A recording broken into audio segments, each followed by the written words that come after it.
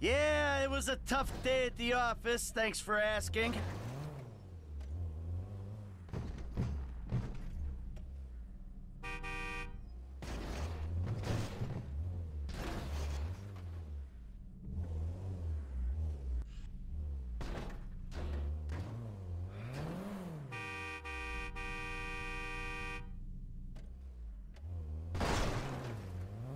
That new prescription is strong.